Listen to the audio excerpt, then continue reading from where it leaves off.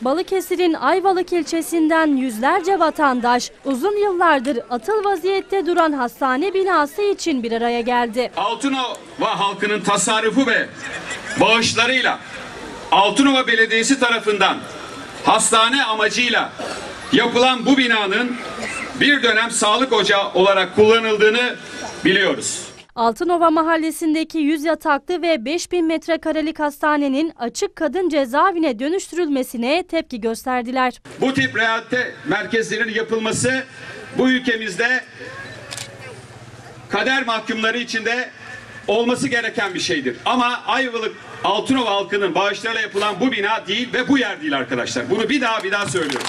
1994 yılında halktan toplanan paralarla hastane yapılması için başlanan çalışmalar ilk 4 yılda tamamlandı. 2007 yılında poliklinik hizmeti veren binada çeşitli sebeplerle hizmete son verildi.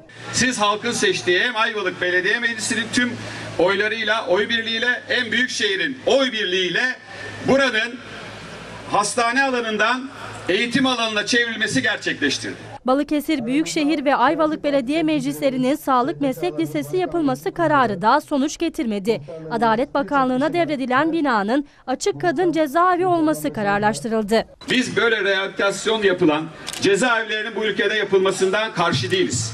Ama yeri burası değil arkadaşlar. Yeri bu bina değil arkadaşlar. Ayvalık Belediye Başkanı çok sayıda siyasi parti ve demokratik kitle örgütü kararı protesto etti. Başkan Rahmi Gençer eğitim kurumu talebini yineledi. İşte buyurun bina. Gelin buraya sağlık meslek yüksek okulu yapalım sayın rektörüm. Hazır bina var.